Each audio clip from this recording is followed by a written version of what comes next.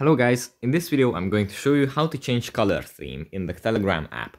But before that, don't forget to subscribe and leave a comment down below, because at 10,000 subscribers I'm going to show you my whole YouTube revenue statistics and growth strategy.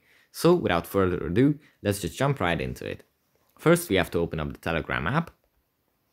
And here it usually opens up in the messages menu, but uh, we have to either swipe right or uh, tap on the three lines in the top left corner and here in this little list, we tap on settings. And then in the settings uh, list, we find chat settings. We tap on this. And here we can, uh, as you can see here, there's a color theme little uh, thing. And we can select the preferred theme for the, for the chat here. There's all kinds of cool chat colorways uh, my favorite is is this with the little duckling. So yeah, that's pretty much it for this video. Hope it was helpful for you guys and see you in the next one. Bye.